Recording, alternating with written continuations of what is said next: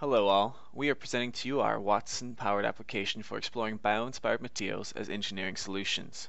We built this product because as climate change becomes an ever-pressing concern, environmental sustainability is becoming a much more important design consideration within engineering disciplines.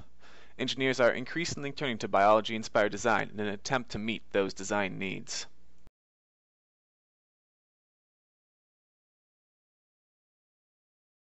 Our Android application will target designers and engineers ranging from students to industry professionals who likely have little to no background in biology. Our application acts as an interface to Watson to provide our user the background knowledge required to understand and explore the biological space and bridge the gap in both domain knowledge and vocabulary, with a focus on biomaterials. We hope our application will be used to assist our audience in finding a biomaterial with properties ideal for any problem they may find themselves designing a solution for.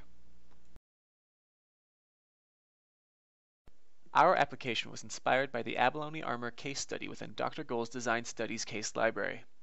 Engineers were tasked with creating better body armor and sought inspiration from natural materials. Some of the materials they looked at included rhino horns, human bone, starfish limb regeneration, and abalone shells. The multi-layered structure of abalone nacre gave the material far greater strength than any of its components, while remaining very low weight, and was the perfect starting point for their armor. Instead of doing this research all on their own, engineers can instead turn to our application to help them find biologically inspired solutions. Here are the functionalities that our application offers to engineers. Users can take general search queries about materials and ask Watson for any possible solutions. Our application will return a list of biomaterials that fit the designated query.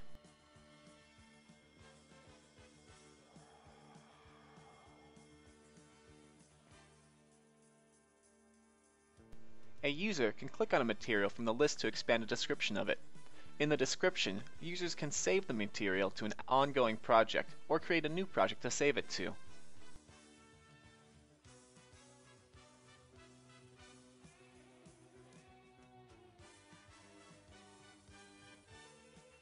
Sometimes an engineer may have a more specific set of requirements for the material. That is why our application gives the user the opportunity to search using a set of features or similar materials.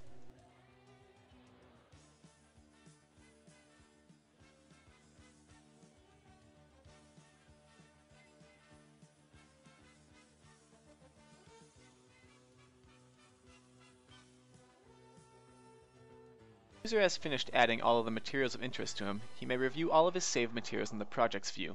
The Projects view gives the user a description of the project as well as the descriptors of all the materials previously saved.